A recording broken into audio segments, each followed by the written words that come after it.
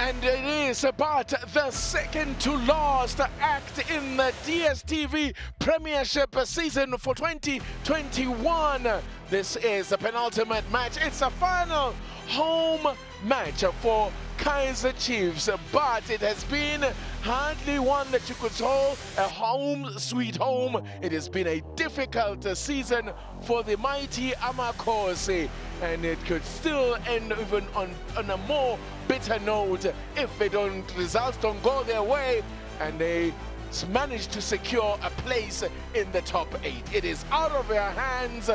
Well, but what they can do is focus on winning their matches and then hope for the best. A very good evening uh, to you from a very cold FNB Stadium. Lots uh, to update you on as uh, we keep uh, tabs on uh, results around the country. I can tell you that uh, thus far there haven't been any goals in any of the matches. Flag is down here and a chance here. Vuma's done well. Excellently to deny Mutizwa, who sprung that offside trap. That's where he's going to be dangerous. not Mutizwa. But Bruce Vuma, not for the first time in the game, has come to the rescue for Kaizer Chiefs. Great ball over the top there. And uh, uh, will be slightly disappointed that he couldn't uh, place that either side of uh, Bruce Vuma. Could be something on here for arrows here. Still alive, yeah, a chance. Bruce Vuma again!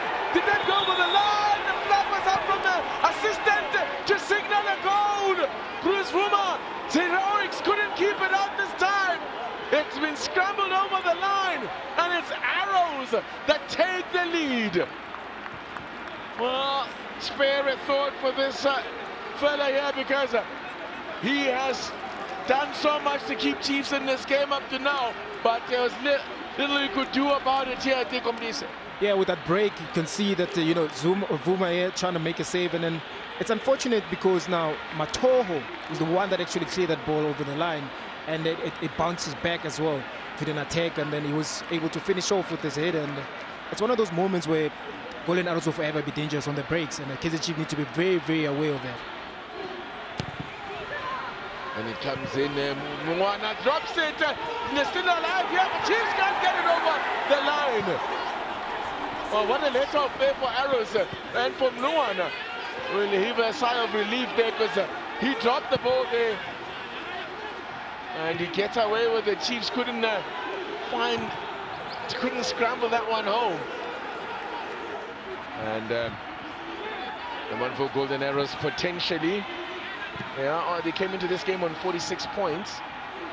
And uh, if they can get maximum points, that's a great run from Katsande! And a great finish!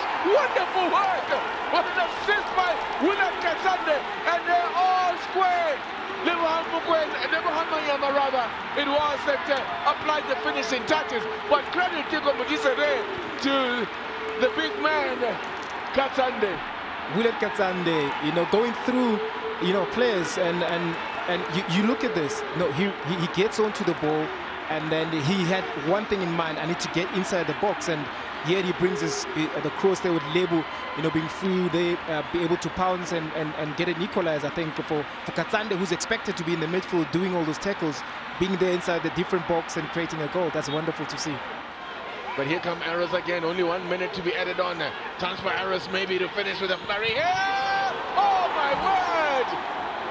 Another chance goes a begging they open them up again and set it up from Tizwa.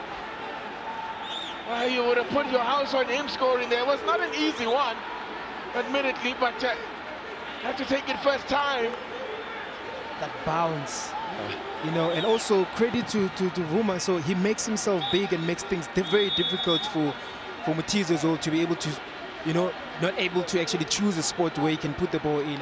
One for golden arrows. Only four defeats all season even if they lose their final two matches, as you see this one. And oh, what a spectacular own goal! Just as I'm speaking about their only four losses now, they could be on for another victory in a rare victory on the road against Chiefs. Oh, it's an own goal. I think it's Mator that had the last touch there. What happens here, Teko Modise? Look, um, with with the lack of communication and also, you know, given the fact that there was a good ball being played in a very dangerous area, and uh, of course for Mathoho, you know, wanting to challenge for the ball, but also he's going backwards, so it's very difficult to play that ball, and that's where actually you'll be hoping that Vuma will come out and, and call for the ball and, and, and, and be able to catch the ball. It's just an unfortunate situation where as a defender, you want to go for that ball and be able to clear it out. Amazulu cementing their place at the moment in second. Could be a chance here for Chiefs to equalize and they've got it! And it's a, it's a brace from Manyama. Well worked, well worked goal. Uh, they've come from behind. As he makes it seven for the campaign. Now the outright leading goal scorer for Chiefs.